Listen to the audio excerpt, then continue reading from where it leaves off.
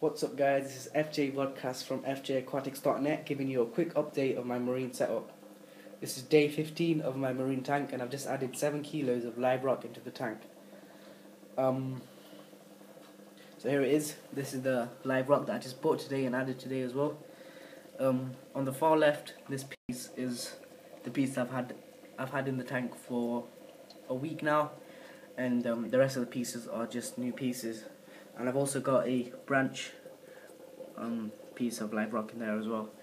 And um, the staff at Pets at Home, which I went to get live rock from, gave me a piece of this soft coral, which um, doesn't look much like coral right now, but will soften up and move about once I put in the T8 blue lamp, which I'm going to probably get tomorrow with some live sand for the bottom of the tank. Here's my lighting system right now. I've got a daylight at the top at the top and a marine white lamp at the bottom. It looks quite blue um, on this camera, but it's actually a white lamp. And for the top, I'm gonna get a marine blue. Yeah, marine blue lamp for the top. So I'll have a white and a blue marine T8 bulbs.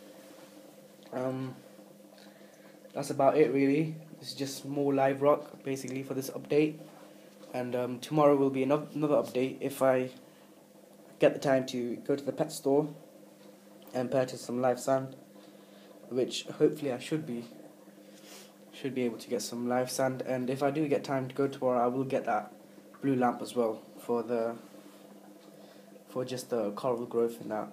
And um, so yeah. This is FJ Vodcast signing out. Cheers. Peace